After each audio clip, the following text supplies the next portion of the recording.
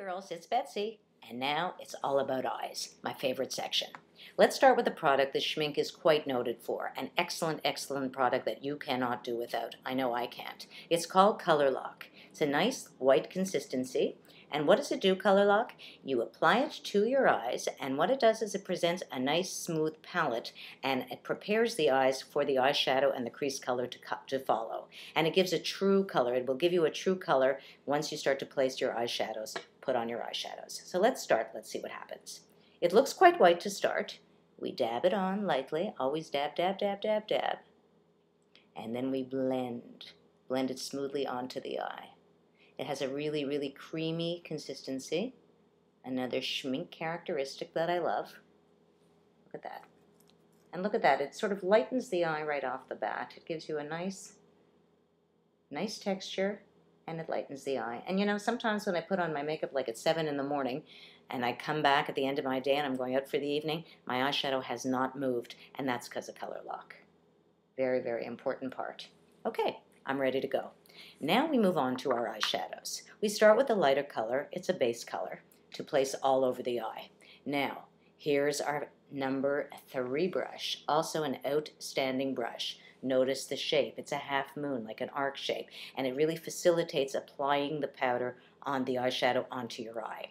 So we dip into our powder on both sides of the brush, and very important feature coming up, tap off the excess. You're going to hear me say it over and over again.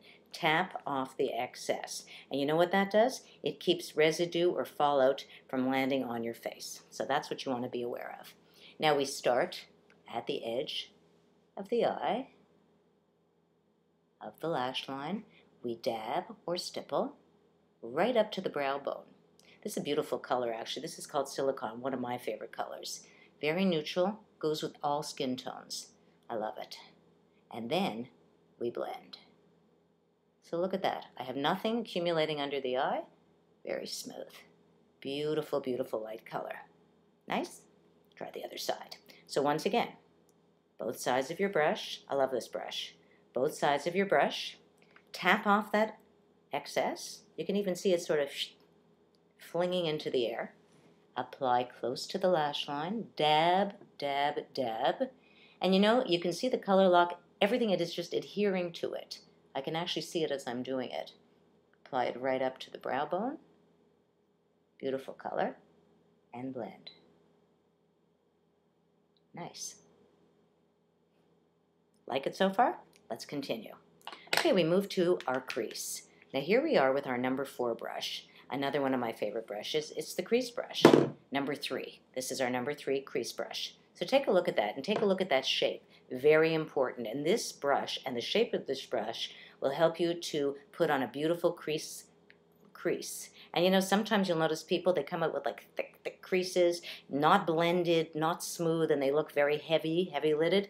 This brush will help you to put on this color nicely. Now this is Best, which is also a beautiful color light. I'm going to stay light because we're doing sort of a nice, smooth, daytime-ish look. Now, to apply the product, we're going to go right on to the edge. See that? The edge of the brush. And we're going to tap off the excess the way we did with our other brush. And we're going to place the brush right at middle of the eye with the tip pointing downward. Do you see that? And you're going to use a sort of windshield washer motion back and forth, back and forth. Now you focus a little bit more on the outside part of the eye because you want a little bit greater intensity there and smoothly back into the inside part of the eye, which of course will be lighter. And what this does, I love this color, what this does is it sort of gives you a little bit, it enhances the crease and gives you that sort of deep set look. Deep set, your eyes look deep set and a little bit more drama. What do you think? Nice, eh? Pretty. Let's try the other side. Okay. Edge of the brush, Tap off the excess. And don't forget to begin again in the middle, the middle, middle, middle of your eye with the tip pointing down.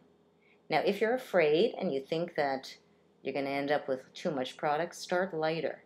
Take a little bit less product onto your brush, like I just did. You can always make it darker. Always make it darker.